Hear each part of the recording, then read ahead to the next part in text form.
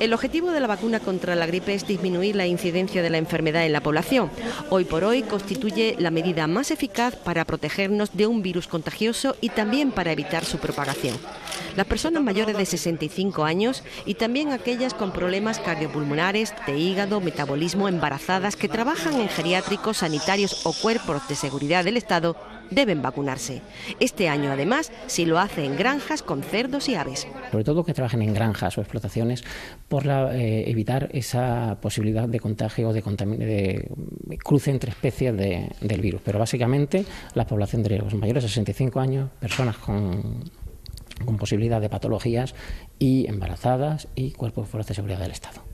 La cita para vacunarse la podemos conseguir en nuestro centro de salud a través de Salud Responde, bien por teléfono, móvil o página web y también teleasistencia.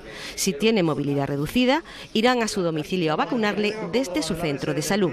El pasado año el pico más alto de incidencia se produjo en la segunda quincena de enero, con 181 casos por 100.000 habitantes. Los profesionales recomiendan no pensar en la climatología, por ejemplo que ahora no hace frío, para vacunarnos.